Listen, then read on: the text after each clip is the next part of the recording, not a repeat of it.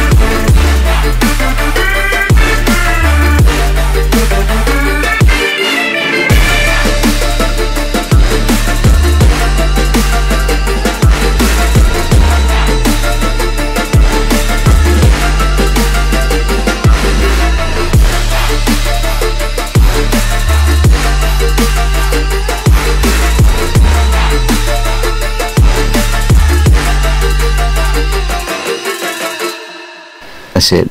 Now the battleground begins.